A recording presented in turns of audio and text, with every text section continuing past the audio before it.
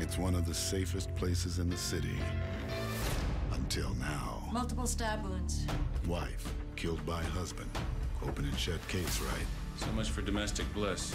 Till hubby turns up dead too.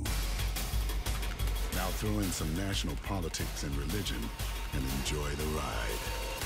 This is gonna give his favorite reverend a coronary. New Law and Order LA. Next Monday.